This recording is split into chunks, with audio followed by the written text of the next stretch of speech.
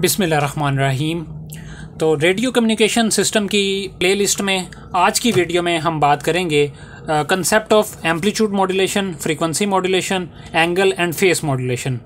तो इन चारों का आपस में देखेंगे कि मैथमेटिकल किस एक्सप्रेशन से हम इन चारों को रिप्रेजेंट कर सकते हैं या इन इन चारों का आपस में रिलेशन क्या है, किस तरह से ये मॉड्यूलेशन होती है।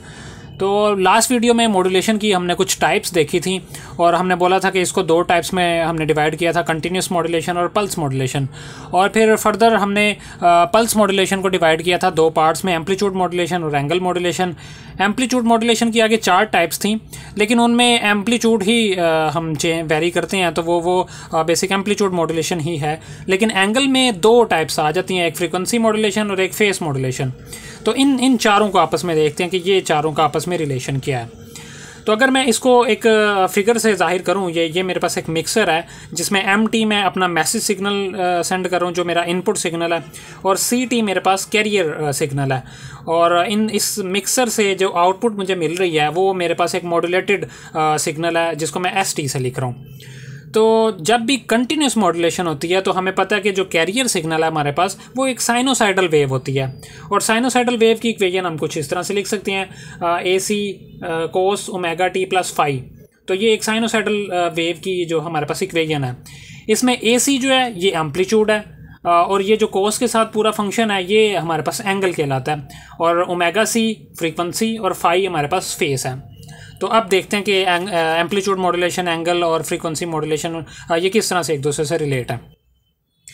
तो जब भी मैसेज सिग्नल ये मिक्सर मैसेज सिग्नल को कैरियर वेव के साथ इस तरह से मिक्स करे कि हमारे पास ये एम्पलीट्यूड जो है ए सी ये चेंज हो, तब जो हमारे पास मॉड्यूलेटेड वेव आएगी, उसको बोलेंगे हम एम्पलीट्यूड मॉड्यूलेटेड वेव या उस प्रोसेस को बोलेंगे हम एम्पलीट्यूड मॉड्यूलेशन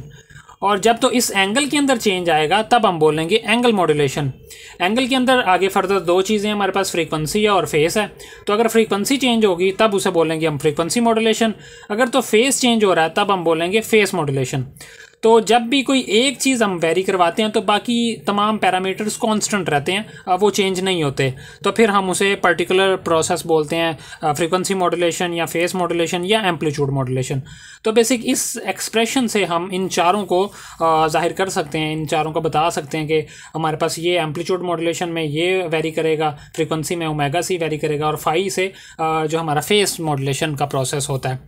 तो ये बेसिक इन इनके दरमियान में रिलेशन था। और नेक्स्ट फर्दर हम थोड़ा थोड़ा करके हम सीखेंगे ताकि आपको अच्छे से इसकी समझ आती जाए। और अगर आप अंदर कुछ मिस कर देंगे प्लेलिस्ट में, फिर आपको समझने में मुश्किल होगी। तो नेक्स्ट हम थोड़ा सा इंट्रोडक्शन करेंगे इंट्रोड्यूस करवाऊँगा मैं आपको फोरियर एनालिसिस का, जिसमें हम अपने जो है सिग्नल एनालिसिस पे थोड़ा सा बात करेंगे, और फिर हम अपनी एक्चुअल चीज़ मॉड्यूलेशन पे डायरेक्ट मॉड्यूलेशन पे जाएँगे और मॉड्यूलेशन करेंगे, इंशाल्लाह।